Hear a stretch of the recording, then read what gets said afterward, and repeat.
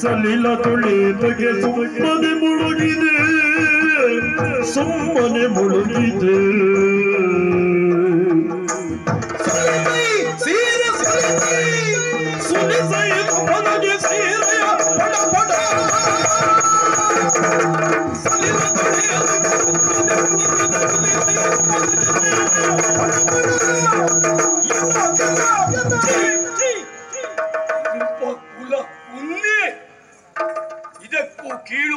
ನನ್ನ ಬಾಯಿಂದ ಬರ್ಲಿಕ್ಕಿಲ್ಲ.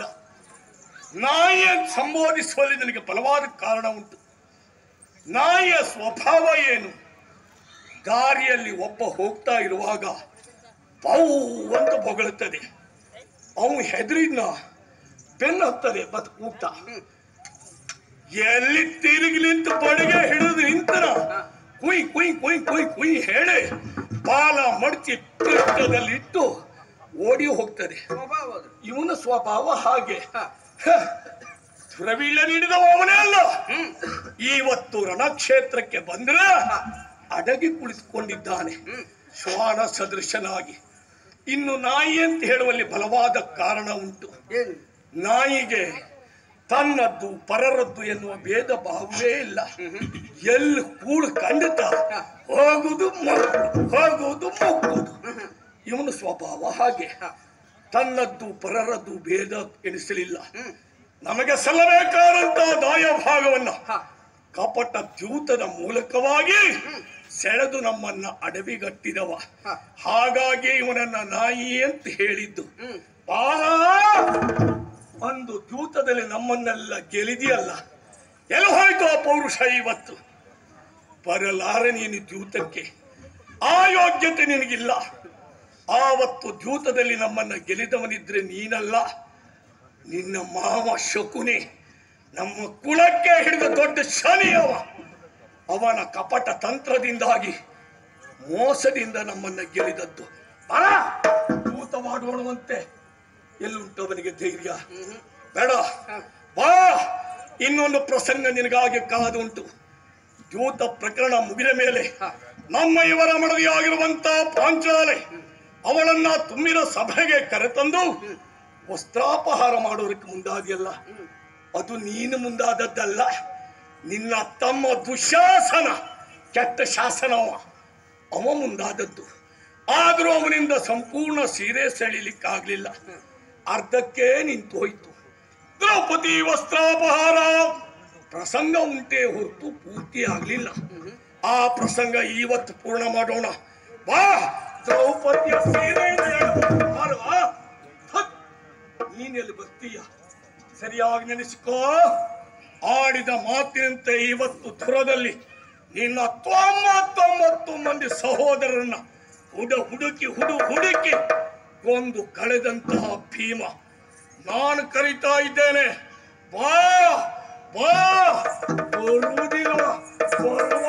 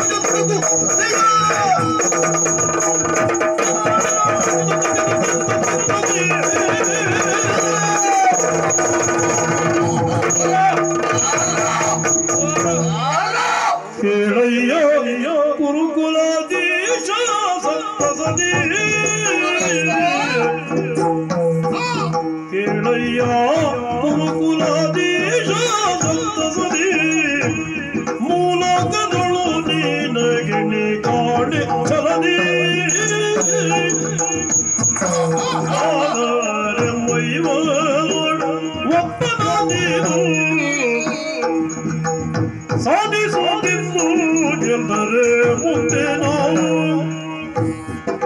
Mediniyenu mikkavadinna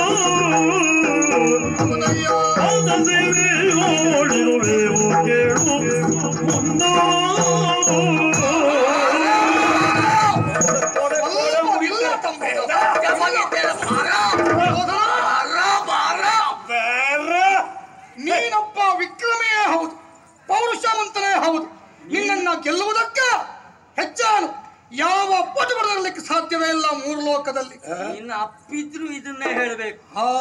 ಸತ್ಯಕ್ರಮ ಇಲ್ಲ. ಅವನ ಬದಲಿಗೆ ನಾನೇ ಹೇಳುತ್ತಾ ಇದ್ದೇನೆ ಹೊಗಳುತ್ತಾ ಇದ್ದೇನೆ. ಅಯ್ಯ ಸುಯೋಧನ ಒಮ್ಮೆ ನಮ್ಮಲ ನೀರಿನಿಂದ ಮೇಲಕ್ಕೆ ಬಂದು ನಮ್ಮ ಇವರಲ್ಲಿ ಬನ್ನಿರಾ ಬನ್ನಿ ಬನ್ನಿರಾ ಬನ್ನಿ. ನಿಮ್ಮ ಮಾತುಗಳನ್ನ ಕೇಳಿ ಉರಿದು ಬಂದೆ. ಹ. ಸೆಳೆದು ಬಂದೆ. ನಿಮ್ಮೆಲ್ಲವರಿಗೂ ಹ. ಮೃತ್ಯು ಸದನವನ್ನ ತೋರಿಸುವುದಕ್ಕೆ ಬೇಕಾಗಿ ಹ. ಮೃತ್ಯು ಸ್ವರೂಪನಾಗಿ ಬಂದಿದ್ದೇನೆ. ಹ. ನಿಮ್ಮ ಐದು ಜನರಿಗೆ ನೀರು ಕೊಡ್ಲಿಕ್ಕೆ ಒಬ್ಬನೇ ಸಾಕು ಬನ್ನಿ. ಹಾ, ಆ ಯೋಗ್ಯತೆ ಉಂಟು ಹೌದು. ಆದ್ರೆ ಇದು ಕೂಟ ಯುದ್ಧ ಅನ್ನುವುದಾಗ್ತದೆ ಇದು ಧರ್ಮದ ಯುದ್ಧ ಅಂತ ಆಗುವುದಿಲ್ಲ. ದ್ವಂದ್ವ ಯುದ್ಧ ಆಗಬೇಕು ಧರ್ಮದ ಯುದ್ಧ ಆಗಬೇಕು ನನ್ನ ಅಭಿಪ್ರಾಯ. ಹಾಗಾಗಿ ನಮ್ಮ ಐವರಲ್ಲಿ ಒಬ್ಬನನ್ನ ಆಯ್ಕೆ ಮಾಡ್ಕೋ. ಅವನನ್ನ ನೀನು ಗೆದ್ದೆ ಅಂತ ಆದ್ರೆ ಉಳಿದ ನಾಲ್ವರು ನಿನ್ನ ಸೇವೆ ಮಾಡ್ತೇವೆ ಸುಯೋಧನ. ಥೂ ತೆಗೆದೇ ಬಿಟ್ಟವ. ಧರ್ಮರಾಯನ ಮಾತು. ಧರ್ಮಯುಕ್ತವಾದದ್ದು ಅಲ್ವೇ ಧರ್ಮ ಸೂಕ್ಷ್ಮವನ್ನರಿತು ಹಾ. ಮಾತನಾಡುವವ ನೀನು ಧರ್ಮಜ ಓ ಬಂದಿರುವಂತಹ ನನಗೆ ಆಯ್ಕೆಯ ಸ್ವಾತಂತ್ರ್ಯ. ಸಂಪೂರ್ಣ ಸ್ವತಂತ್ರ ಅನ್ನೋದು ನಿಮ್ಮ ಇವರಲ್ಲಿ ಅವನನ್ನು ಆಯ್ಕೆ ಮಾಡ್ಕೋ. ಯಾರನ್ನು ಬೇಕಾದರೂ? ಯಾರನ್ನು ಆಯ್ಕೆ ಮಾಡ್ಕೊಳ್ಬಹುದು?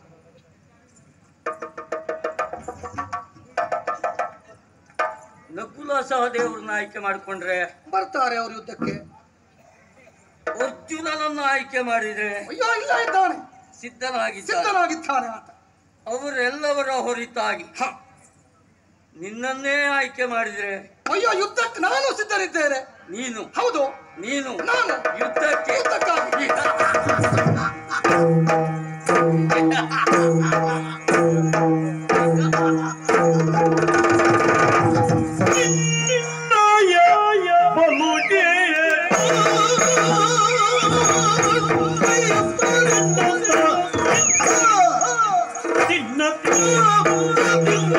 ನಿನ್ನಯ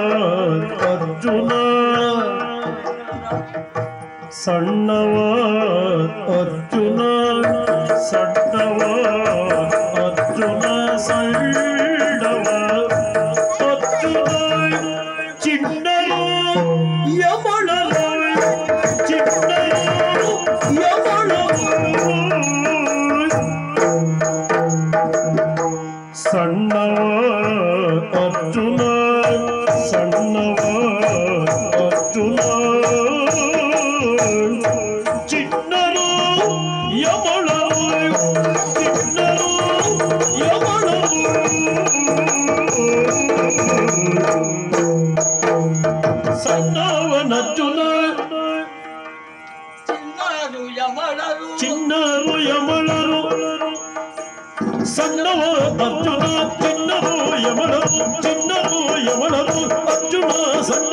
ಸಣ್ಣವನ ಅರ್ಜುನ ಚಿನ್ನರು ಎವಳರು ಅರ್ಜುನ ಸಣ್ಣವ ಚಿನ್ನರು ಎವಳರು ಚಿನ್ನರು ಎವಳರು ಅರ್ಜುನ ಸಣ್ಣವ.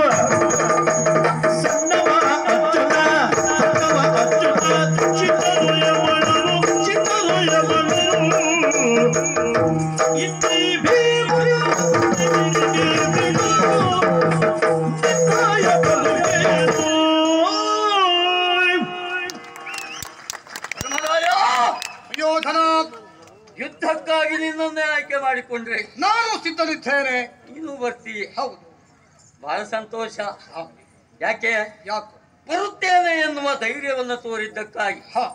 ಆದ್ರೆ ಒಂದು. ಹ್ಮ್. ನಿನ್ನಯ ಬಲವು. ಹ್ಮ್. ಏನು? ಹ. ಏನ? ಹೇಳಬೇಕು. ಏನು? ಹ್ಮ್. ನಿನಗೂ ಗೊತ್ತಿಲ್ಲ. ಹ. ಹಾಗಂತ ಹ. ಯಾವುದಕ್ಕೂ ಪ್ರಯೋಜನ ಇಲ್ಲ ಎನ್ನುವುದಲ್ಲ. ಹ್ಮ್. ನನ್ನ ಮಾತಿನ ಅರ್ಥ. ಹ. ಇಲ್ಲೇ ಹ್ಮ್. ನಡೆಯುತ್ತಾ ಇರುವಂತಹದ್ದು. ಹ. ಅಲ್ಲ ನನ್ನ ಆಯ್- ನಾನು ಆಯ್ಕೆ ಮಾಡಿ ಮಾಡಿಕೊಂಡಿರುವಂತಹದ್ದು. ಗದಾಯುದ್ಧ. ಈ ಗದಾಯುದ್ಧದಲ್ಲಿ ಹ. ನಿನ್ನಯ ಬಲುಹು ಏನು? ಏನು ಇಲ್ಲ. ಹಾಗಂತ ಸಾಮರ್ಥ್ಯವಂತ ನೀನಲ್ಲ ಅಂತಲ್ಲ. ಚಲ್ಲಿ ಬರುವುದಲ್ಲಿಯೋ ಅಲ್ಲ ಹಿಂದಿನ ದಿವಸಗಳಲ್ಲಿ ಹ. ಸಾಮರ್ಥ್ಯವನ್ನು ನೀನು ತೋರಿಸಿದ್ದೀಯ. ಓಹೋ. ನೀನು ಧನುರ್ಬಾಣ ಪ್ರವೀಣ. ಬಿಟ್ರೆ ಗದಾ ಯುದ್ಧ ಪ್ರವೀಣ ಅಲ್ಲ. ಹ. ಹಾಗಾಗಿ ನಿನ್ನಯ್ಯ ನಿನ್ನಯ ಬಲು ಏನು? ಹ. ನಮಗೆ ಏನು ಅಲ್ಲ ಅಂತಲೇ ಲೆಕ್ಕ. ಓಹೋ. ನೀನು ಬೇಡ. ಹ. ನಾನು ಬೇಡ ಅನ್ನುವುದಾಯ್ತು. ಹಾ. ಹಾಗಿದ್ರೆ ಇನ್ನಿದ್ದಾರಲ್ಲ ಆಯ್ಕೆ ಮಾಡ್ಕೊಳ್ಬಹುದಲ್ಲ. ಇನ್ಯಾರಿದ್ದಾರೆ ನಕುಲ ಸಹದೇವರು ಅರ್ಜುನ.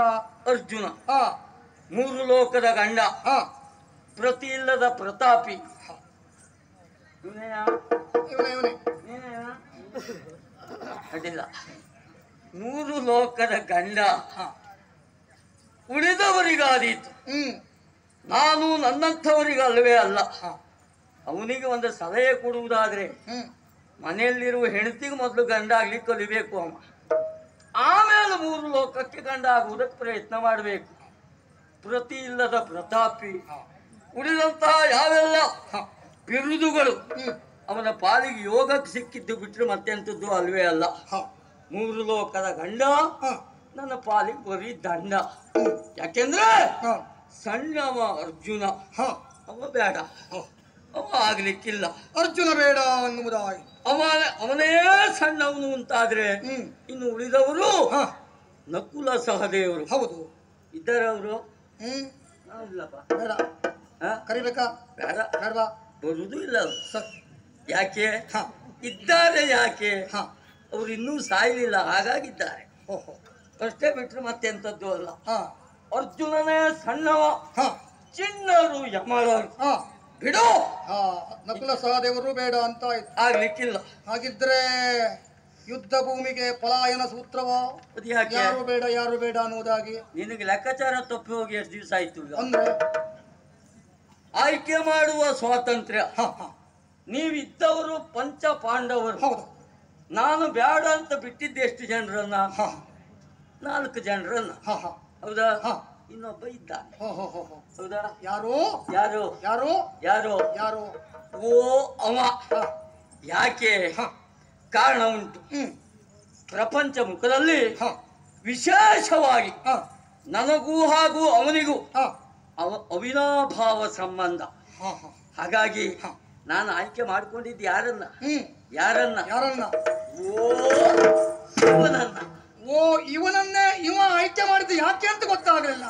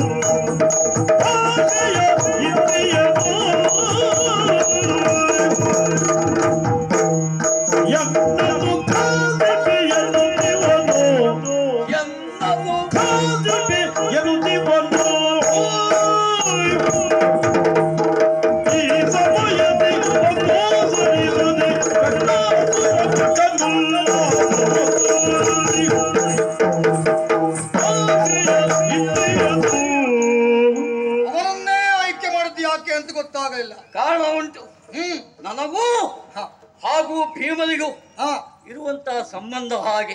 ಓ ನನ್ನ ಹೆಸರನ್ನು ಕೇಳಿದ್ರೆ ಅವನಿಗಾಗುವುದಿಲ್ಲ. ಅವನ ಹೆಸರನ್ನು ಹೇಳಿದ್ರೆ ನನಗಾಗುವುದಿಲ್ಲ. ಹ. ನಮ್ಮಿಬ್ಬರ ಹೆಸರನ್ನು ಹೇಳಿ. ಹೆಸರಿಗೆ ಅಕ್ಕಿ ಹಾಕಿದ್ರೆ ಅಕ್ಕಿ ಬೇಯುವುದೇ ಇಲ್ಲ. ಅಷ್ಟು ಒಳ್ಳೆಯ ರೀತಿಯಲ್ಲಿ ಹ. ಸಂಬಂಧವನ್ನು ಕಾಪಾಡಿಕೊಂಡವರು ನಾವು. ಓಹೋ. ಅವನನ್ನೇ ಆಯ್ಕೆ ಮಾಡುವುದಕ್ಕೆ ಬಲವಾದ ಕಾರಣ ಉಂಟು ಇನ್ನೊಂದು ಸಂದರ್ಭದಲ್ಲಿ ಹ. ಕಂಠೆಯ ಕಂಠನಿಂದ ಪ್ರತಿಜ್ಞಾಬದ್ಧನಾದ ಭಾಷಾಬದ್ಧನಾದವಾತ. ನನ್ನ ತೊಡೆಯನ್ನು ಮುರಿತೇನೆ. ತನ್ನ ಮೂಲಕವಾಗಿ ಹ. ದ್ರೌಪದಿಯ ತುರುಬನ್ನ ಕಟ್ಟಿಸ್ತೇನೆ. ಹ. ಎನ್ನುವ ಭಾಷೆಯನ್ನ ಈಡೇರಿಸಿಕೊಡುವುದಕ್ಕೆ ಬೇಕಾಗಿ ಹ. ಅವನಿಗೆ ಅವಕಾಶ ನಾನು ಕೊಡ್ತಾ ಇದ್ದೇನೆ. ಯೋಚನೆ ಮಾಡಬೇಡ. ನನ್ನ ಎದುರಿಗೆ ಹ. ಅವನನ್ನು ಬಿಡ.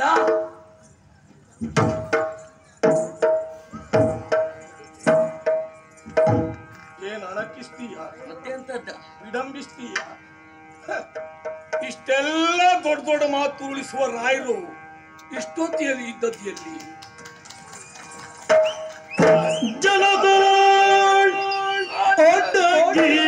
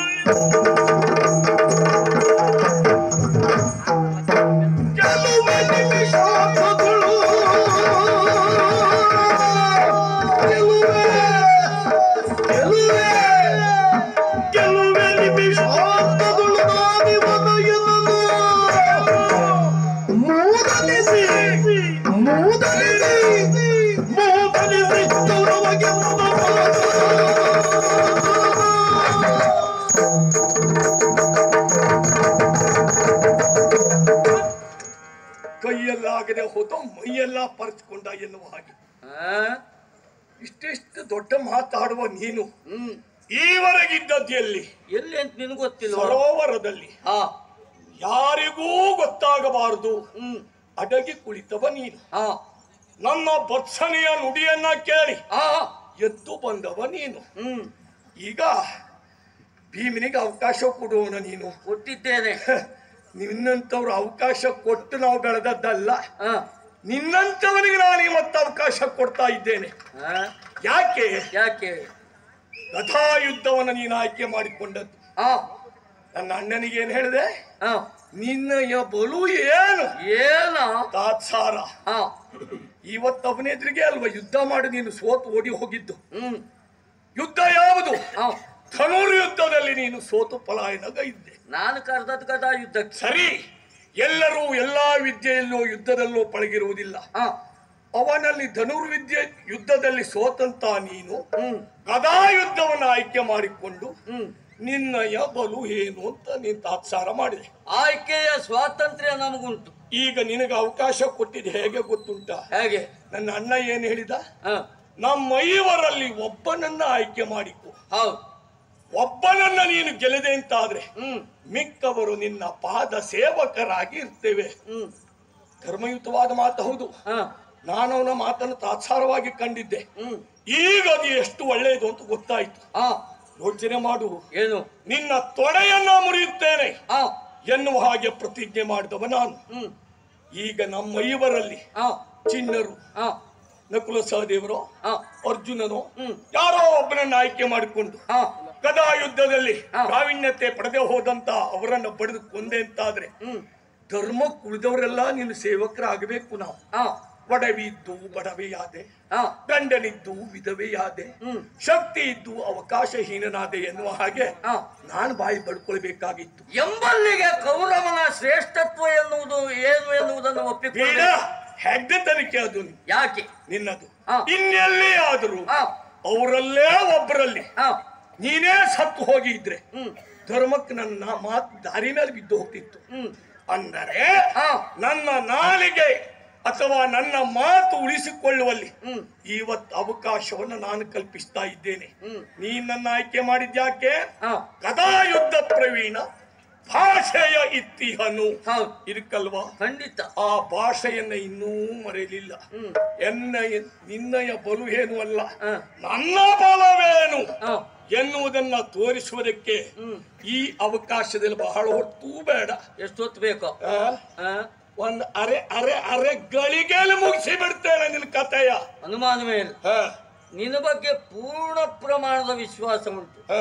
ಅರೆ ಗಳಿಗೆಯಲ್ಲಿ ಮುಗಿಸ್ತೀಯ ನೀ? ಯಾವುದನ್ನ? ಯಾವುದನ್ನ? ನನ್ನನ್ನಲ್ಲ. ಮತ್ತೆ? ನನ್ನನ್ನಲ್ಲ. ಊಟದಲ್ಲಿ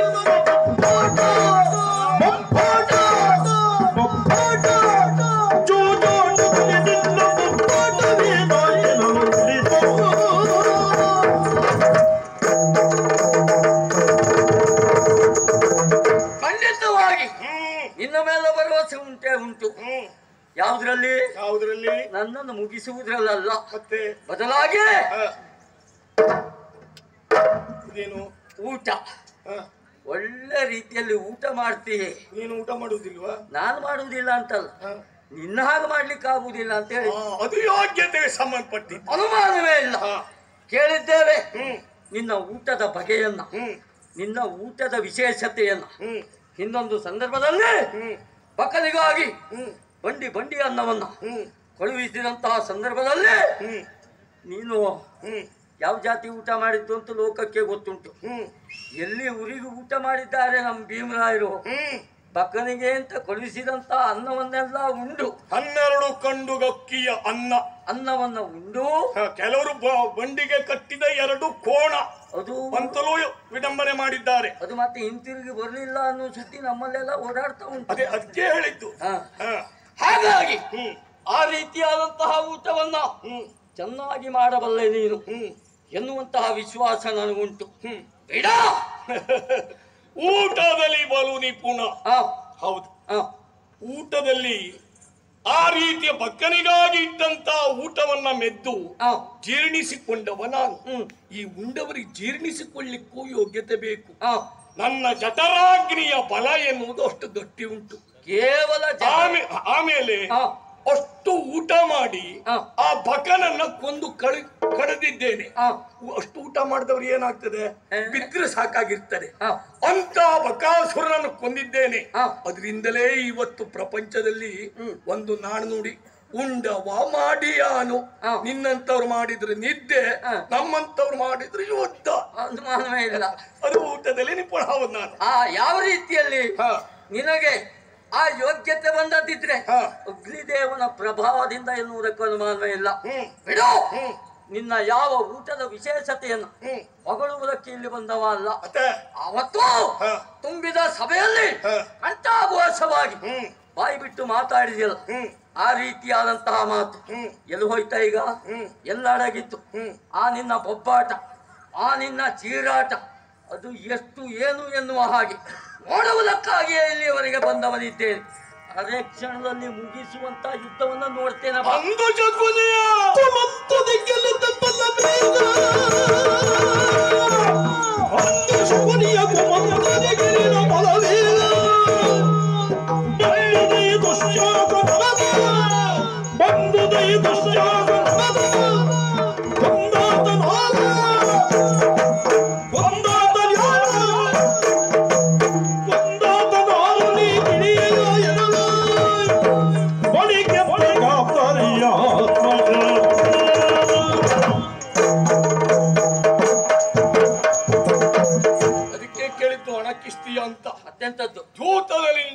ಬೊಬ್ಬಾಟ ಚೀರಾಟ ಏನಾಯ್ತು ಅಂತಲ್ವಾ? ಎಲ್ಲಿ ಹೋಯ್ತಾ? ಅಂದು ಮಾಡಿದಂತ ಪ್ರತಿಜ್ಞೆ ಆ. ಈಡೇರಿಸಿದ್ದೇನೆ ಕೆಲವೊಂದನ್ನ. ಅಂದು ನೀನು ಶಕುನಿಯ ಕುತಂತ್ರದಿಂದ ನಮ್ಮನ್ನ ಗೆಲ್ಲಿದ್ದು ಆ. ಇವತ್ತು ಸಹಾಯಕ್ಕೆ ಆ ಶಕುನಿ ಇಲ್ಲ. ಆ. ಮಾಡಿದಂತ ಪ್ರತಿಜ್ಞೆ ಎರಡು. ದುರುಳ ದುಶಾಸನ ಉರವನ್ನ ಬಗೆಯುತ್ತೇನೆ. ನಿನ್ನ ತೊಡೆಯನ್ನ ಮುರಿಯುತ್ತೇನೆ. ಆ. ಒಂದು ಮುಗಿದಿದೆ. ಈ ತೊಡೆ ಮುರಿಯುವುದೊಂದಿದೆ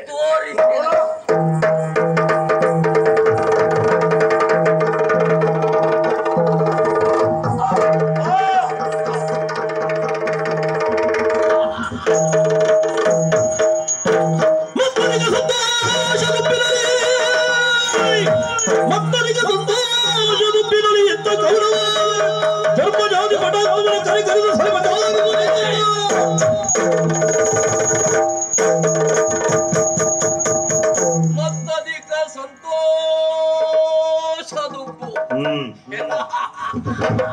ಹಾಗೆ? ದೋ, ನನ್ನ ಗದೆಯ ಗಾತ್ರದಿಂದ ಭೀಮ ಧರಾಶಾಹಿಯಾಗಿದ್ದಾನೆ ತಮ್ಮ ಶಕುನ್ ಕರ್- ಇಲ್ಲ. ಶಕುನಿ ಇಲ್ಲ ಕರ್ಣ ಇಲ್ಲ ದುಶಾಸನ ಇಲ್ಲ. ನಮ್ಮವರೆಲ್ಲವರನ್ನು ಈ ಸಂಭ್ರಮವನ್ನ ನೋಡುವುದಕ್ಕಾಗಿ ಬನ್ನಿ ಬನ್ನಿ ಬನ್ನಿ ಎನ್ನುವ ಹಾಗೆ ಉತ್ಸಾಹದಿಂದ ಕರೆಯುವುದಕ್ಕೆ ಮುಂದಾದೆ. ಪಾಪ ಇಂತಹ ಸಂದರ್ಭವನ್ನ ನೋಡಿದ್ರೆ ಹಾಲು ಕುಡಿದಷ್ಟು ಸಂತೋಷವನ್ನು ವ್ಯಕ್ತಪಡಿಸ್ತಾ ಇದ್ರು. ತಂದು ಯಾರು ಯಾರು? ಯಾರೂ ಇಲ್ಲ. ಅವರೆಲ್ಲ ಬರುವ ಹಾಗಿಲ್ಲ.